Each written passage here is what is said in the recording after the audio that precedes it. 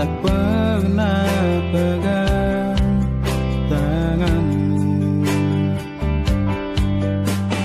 Tapi ku tetap yakin kau pernah hadir Ya Rasulullah.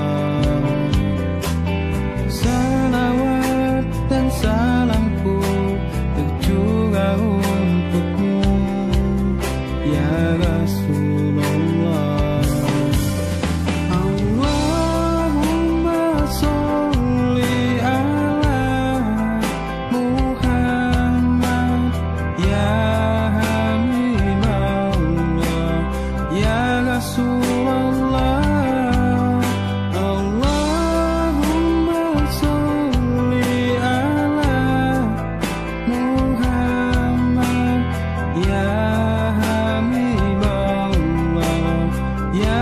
soon.